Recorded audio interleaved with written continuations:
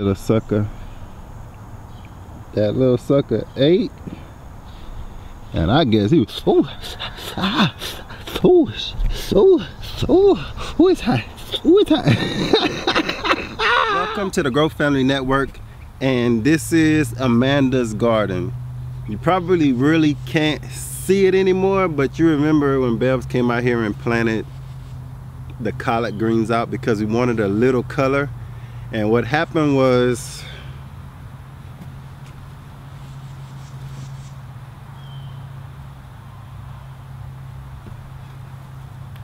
I'll show you. Is this is what's left of the collard greens and closer to you this is what's left it was just about to start rooting and running and we got attacked by I would say some crazy rabbits. If you remember last year we had a rabbit problem right around this time too right around the fall when we started planting in the high tunnel. Back there uh, we actually got decimated by them and we actually end up catching two of them last year almost in the act. So this year I remember watching some uh, Hollis and Nancy from uh, Hollis and Nancy's homestead and I remember they put out a video about just deterring pests and they use like pepper and garlic so I'm not gonna I got pepper but I'm not gonna use it but what I am gonna use is I did go and get the pepper they suggested from the Asian supermarket. And actually they grow these, so I really would like to try to find some seeds for these and grow them myself. It's different than regular cayenne pepper. It looks a little bit different, a little longer. But this is it. So we had to go out and this time because I don't want to, transplants cost way higher than seeds. I would just throw some seeds down, but because I already planted some greens and I already planted transplants, I wanted to get them again. And, and kind of because that's what I wanted to do. And another way is because I'm not gonna buy eight this time, only bought a four pack. That way if the rabbits come and eat them tonight and this doesn't work, then I won't feel like I've lost two four packs. So what I'm gonna do is I'm going to take some of this and I'm gonna sprinkle it all over this after I plant them. So that's what I'm gonna do right now and then I'm gonna show you how I'm gonna finish it up at the end of this video.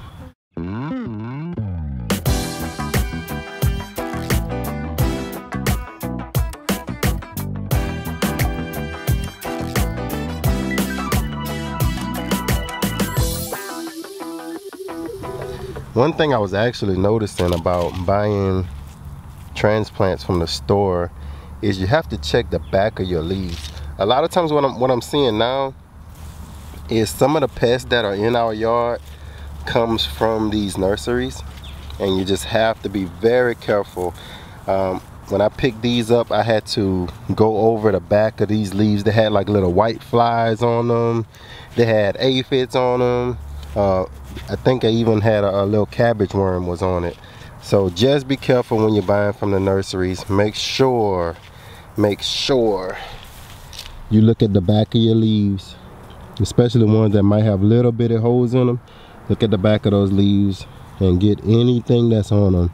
And many times at these nurseries, you're gonna see these little white flies on them and things.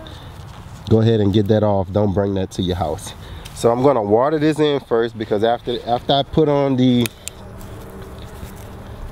actual potion, I'm not gonna rinse it off. So I wanna water the plant in first and then next I'm going to apply this. Now this is a cool thing. This is a uh, like one of those snack jars that you actually buy at Walmart and you can see I got this one on sale and you actually can make a easy let me take this top off all I did was drill some holes in the top of that and now look at that. That's cool. Just made a cool little shaker and I'm sure you can do this with your salt with any kind of herb. And if you want you can make bigger holes. I just made some little small holes but you can figure what size holes you want to make if you have like herbs or things like that. So oh look that ant then. Look at that ant. Got a pepper. I guess they don't care. You see that? I wonder if y'all even see that. And he is running. Y'all probably can't see him. Let me see. See if I can get close enough to him. Where is he? There he goes. Look. Look how fast. that little sucker's moving. He's gone. He got some. Oh boy, I hope he don't feed that to his children. Cause that's some. Look, he got him one too. Well, maybe the ants like the peppers. I hope that the rabbit won't like the peppers as much as the ants. So let's go water this in. One second. To get to work, and I'm really gonna drench them down. That way they come in, he comes around and around. Tell you what, he been eating Louisiana collards for a while, but he gonna try some Thai collards out. This is gonna be so spicy. He eat off of this tonight. It's definitely gonna knock some fur off of it. Um, and Bev's, as I was pausing to actually do the watering, Bev's actually told us, if you remember when she was in the Philippines, this is that same pepper that her uncle was growing and we actually do have some seeds so I didn't know she bought any and I didn't know that that was the same pepper and she said how spicy this pepper is the good thing about being uh, watered is now it's sticking a little bit more to the plant this one just probably gonna be a little transplant shot that thing didn't care it, it just ate so this one will probably be standing up in the morning. But that's it. So that's one, two. Look how red that's looking. You gotta do what you gotta do. Three, four. I'm gonna get some more on this one. Now I did talk to Bevs when I came home with this pepper after watching that Hollis and Nancy video over and over, making sure I had it right. Finding the exact same uh, package and then it costs $4.99 so I told I say people probably gonna think it's crazy to go out and pay $4.99 to save a few little plants that you can buy for cheaper than $4.99 at the store fully matured but like I always tell you it's something different about having your own food growing your own food. It just tastes different than anything in the store. So this $4.99 Bevs can actually use this in cooking because she's she's gonna like make some kimchi. And I can use it on multiple plants. So it's not just uh, trying to save four or eight plants. It's really about what or how, how I can apply it in the garden and how many applications can I use it in.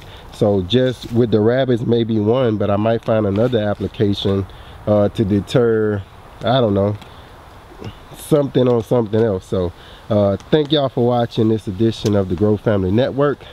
And as always spice them up. Grow grow grow. Peace all right so i'm coming out here early in the morning. It's about seven o'clock. And I'm coming to see the results from the pepper. And looks like they've been eating but doesn't look too bad. That one remember this one was already smile on for the kids. This one was already kind of getting a little transplant shock but look at this one he ate a little bit you can see a little remnants that little sucker that little sucker ate and I guess he was, oh, ah, oh, oh, oh, who is that? Who is that? oh, look at the back of that leaf. Oh, he ain't want nothing to do with that leaf. Oh, man. So, what I'm trying to do is, I need to plant out the rest of these beds. But if I put all those transplants out before I discourage them from coming into this garden, they're gonna eat me alive so this is this is like a discouragement process that i'm gonna wait maybe about a week or so to really really let them know everything over here is spicy and they're not gonna want to deal with that. Stay in the woods. Stay out there in the woods. Eat your stuff out there. Find you some grass like you're supposed to. And leave my garden alone. This is the grow family network signing off. Saying spicy collards on the menu. Peace. Grow grow grow